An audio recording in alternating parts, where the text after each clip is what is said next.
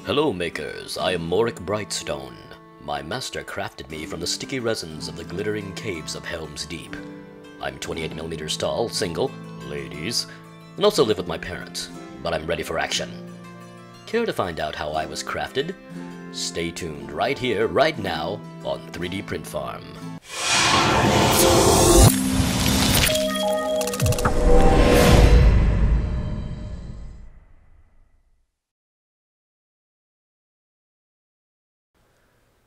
Hello everyone and welcome back to 3D Print Farm.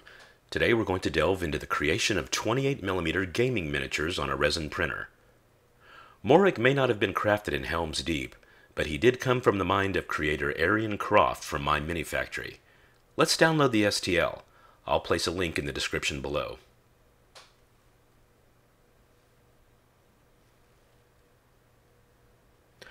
Okay, I've jumped over to my Anycubic Photon Slicer and I'm searching for old Morek. Let's see, he's down here in folder. Let's open that up. And there he is. Okay, as you can see, the model gets placed flat on the build plate. In order to make any changes to the model, you must select it so that it turns gold. Now I'm going to click on the supports icon and make sure all the settings are correct. For these 28mm miniatures, there's really no need for medium or heavy supports. Light supports will do just fine.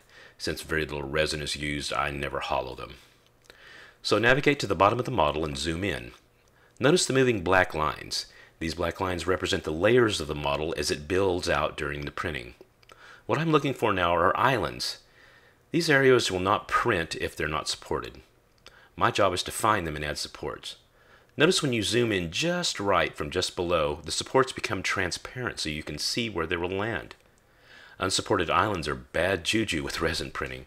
Notice that there's a couple over here at the tip of the hammer, and let's one along the shaft too. So I'm going to put just a couple here. This guy did two here. I'm going to add one maybe on his thumb. No, maybe on his finger. Right there. Okay, let's go over to the other side. And you'll see his hammer as well. There's some unsupported spots there. There's an island, so I'm going to put one there.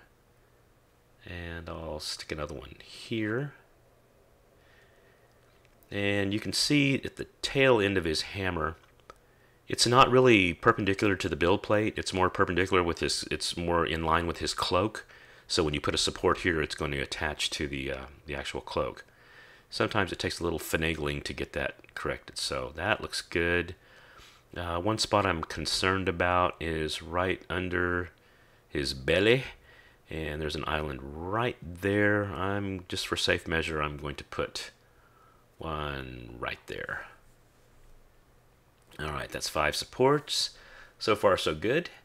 So next thing you need to do is click your gear icon. Because right now he doesn't look like he's flat with the build plate, but he actually is. When you click the gear icon, he'll slap down flat to the build plate.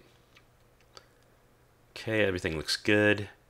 Uh, click my gear icon. I'm going to check my resin settings. And your mileage may vary with your resin settings. Just make sure that they're uh, the correct ones for the resin that you're using.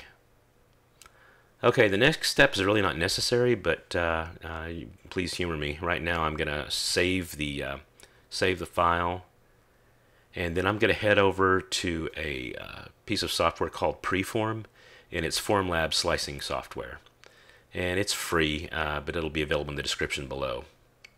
So what I want to do is I'm going to click on the printability icon at the bottom of the screen, this program really helps me double check my work. It searches for minima, which are spots on the print that could possibly fail, and cups, which are spots on the print that cause suction.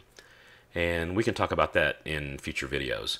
So uh, right now I'm just checking to make sure everything looks right. There's a little spot under his arm I'm really not concerned about since it is a miniature.